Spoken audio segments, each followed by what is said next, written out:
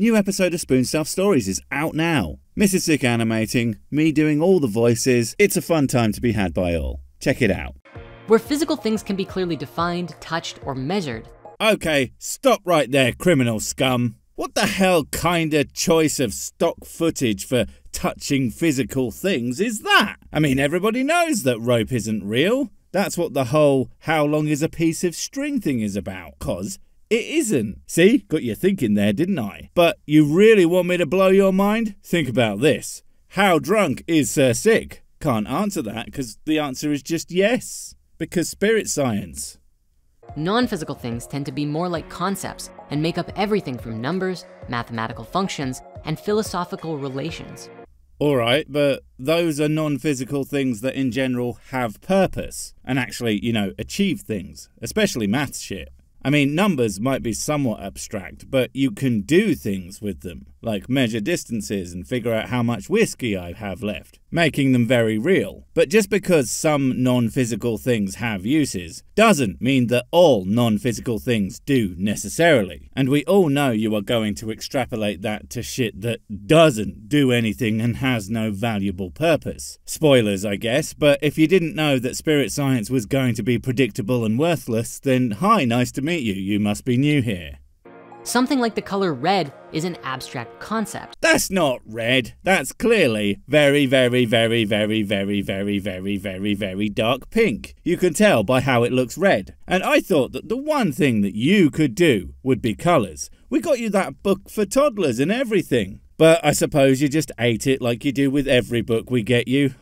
I would blame myself, but I don't take responsibility for any of my actions, so what are you going to do?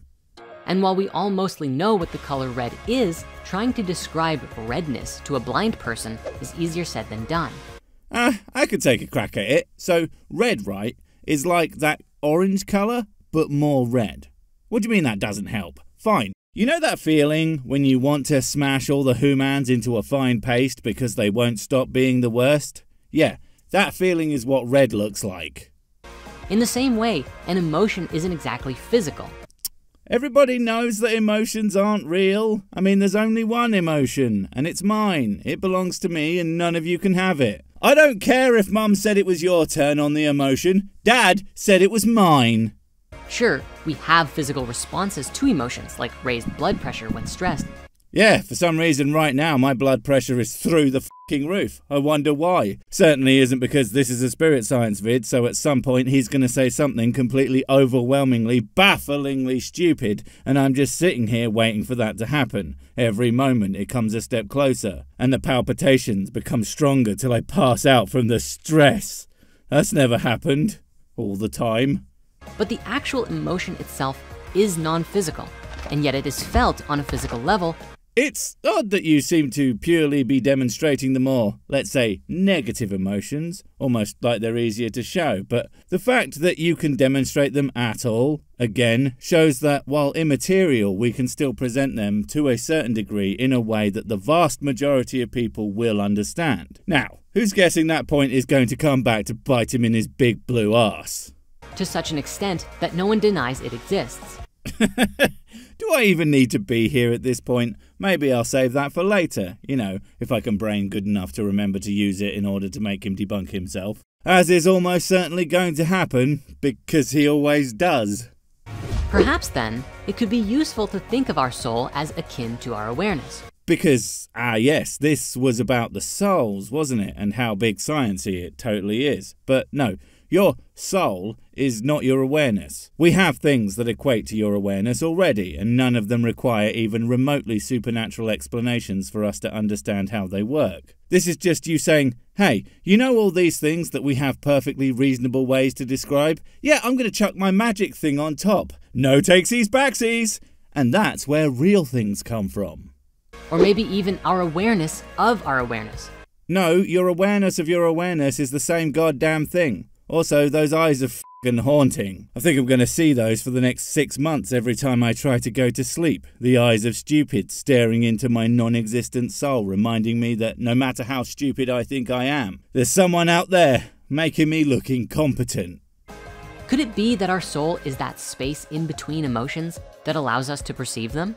Oh, there it is. There's the stupid thing mixed with a pinch of word salad just to make my blood pressure so high blood starts squirting out of my nose like a fucking super soaker. And I don't mean those modern, pansy ass health and safetyfied super soakers. I mean ones from the 90s where you could knock someone's eye out with it. Which explains your collection there, Blue. Not gonna lie, I'm almost impressed. Also, the soul is the space between emotions that allows us to perceive them. What does that even mean? And as I said, how is that useful? Hmm. How is that something you can draw a simple set of images like. To such an extent that no one denies it exists. Oh, hey, look, I remembered. But yeah, tell me one way that you can show how a soul actually works that most people will understand and agree with, and I'll show you something that's definitely not that. A common thread we've been seeing so far in ancient philosophies Ah, yes, ancient philosophies and their tendency to be completely wrong, and based on the very limited perceptions of humans, and centre largely around basic universal concepts and ideas that they can steal from their neighbours. Yes, those are always such useful things for the modern person to be getting on with, and not absolutely worthless for anything other than being kind of interesting anthropologically. No is that the soul comprises the truest essence of who and what we are. Are you saying that ancient people who didn't understand dick all about how the body works all came to the conclusion that something inexplicable must be the cause of it? No, no, that can't be right. Next, you'll be telling me that they did that with everything they didn't understand. I mean, they certainly wouldn't invoke some supernatural being or another in order to explain things about the cosmos, for which they had not yet acquired the knowledge, skills, and technologies to figure out. Why would they do that? Including our logical reasoning, personality, hopes, dreams, fears. Smells, sounds, that weird thing that your eye does when you're trying to concentrate while you honk in your sleep, the fact that everything you say is more idiotic than the last, your favourite soup. All these things can be explained by your brain mostly. No, of course I wasn't going to say soul, because that would be fucking stupid. It's all largely based on a complex web of synapses, and that's why when someone takes a biff to the noggin, it can have literal impacts on their personality from who they are as a person to things they used to enjoy no longer being pleasant and craving others which they used to hate. But wait, no. When they hit their head, they also just randomly took a kick in the soul. And that severe head trauma is just an unrelated coincidence. Yeah, that must be it. As well as our approach and philosophy on life and how we interact with the world. Yeah, no, that's got nothing to do with some intangible bullshit and everything to do with the brain. Now, that isn't to say we has done the full understandings of how the brain works. I mean, I have eaten hundreds of the things and I still have no perfect way to prepare them. But that also doesn't mean that you can just leap up and say, aha, since we don't know how that bit works, that's and must be where the soul at. That's just God of the gaps argumentation well, the soul of the gaps, but it's the same thing. And it's a fallacious argument for a really good reason.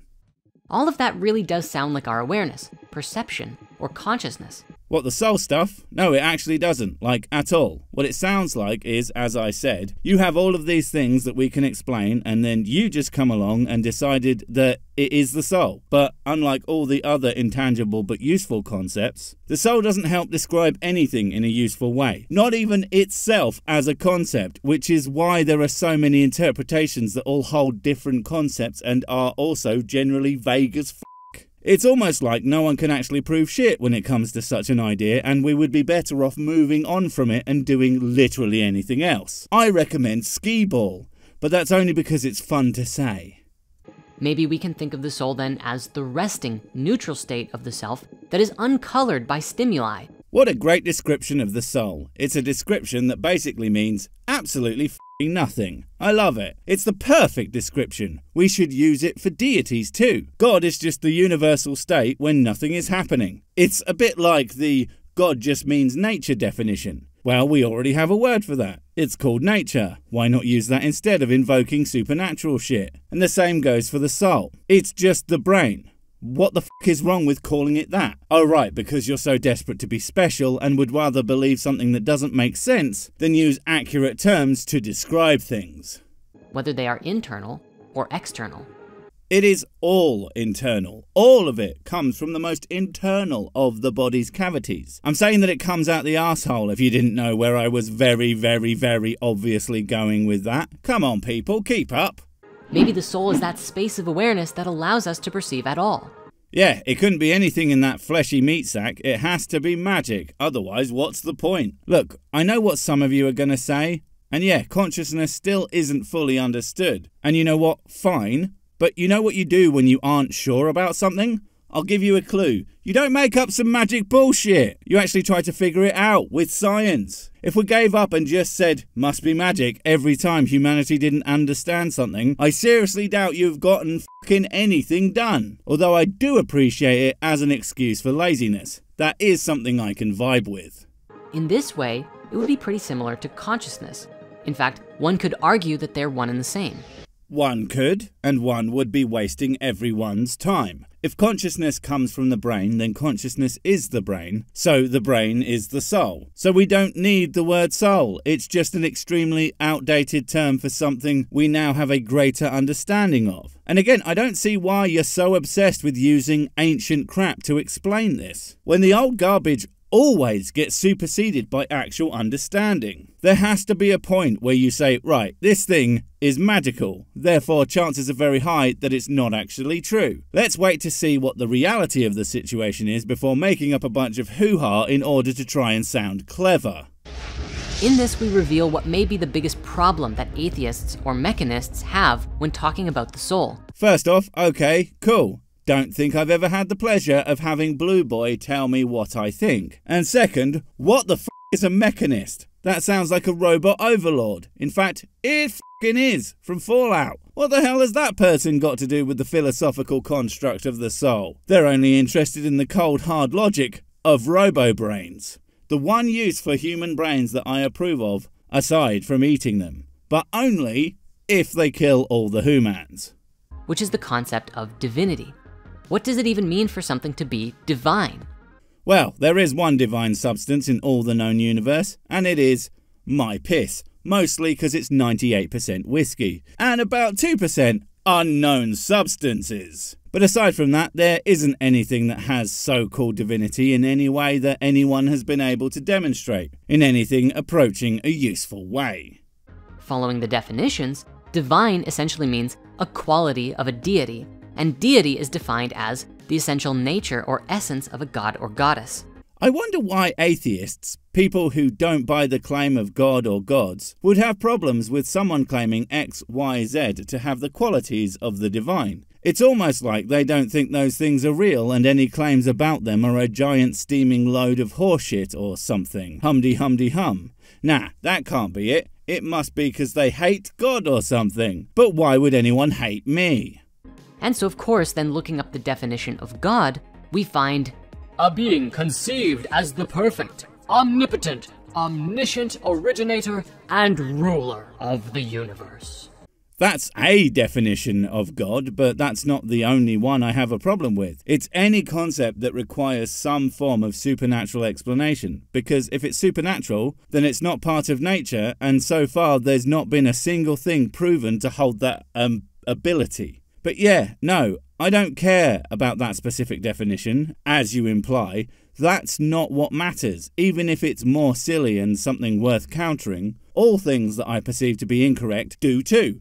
It wouldn't make any sense for me not to. So there's a question here. If the soul exists and it comes directly from the essence of God, then it's a part of divinity that exists within us. Exactly. Like I said, it's got nothing to do with being correct and everything to do with being special. It doesn't matter that there is already perfectly reasonable explanations for things. I'm going to act like those don't exist and use this magical explanation that makes me super special and super important because I am neither of those things. It's kind of sad, really. Is that why he's blue, do you think? And there's a counter thought to this. Don't pretend you had a thought in the first place. And I thought the counter thought was you're wrong and being ridiculous, stop pretending that the concept of spirit sides is anything other than a radically stupid misnomer. Perhaps there's nothing inherently divine about it. Maybe it's simply another part of the universe we haven't found yet. Well, aside from the fact that, yes, we have brains, which are absolutely part of the universe that we have found and you can, you know, do stuff with, you freaking div. Do you even have one? Oh, fuck me, I just realised you don't. Shit, that explains everything. Wait, before you go, I have something super important to tell you. It's life or death. It will change everything forever. Nope, wait, it's gone. Oh well, probably wasn't important. But while I have you, don't forget to comment, subscribe, and notify. And if you want more of my smexy voice, check out Mrs. Sic's channel Spoonstaff Stories, where I narrate and voice all the videos, and she does the work. And if you want to support the channel, check out the merch store for cool t-shirts, or check out Patreon, memberships, and PayPal to support directly. Finally, Follow me on the medias of social to get completely pointless guff and to keep up on the latest releases. Oh, I just remembered what I was to tell you. Whatever you do, don't touch the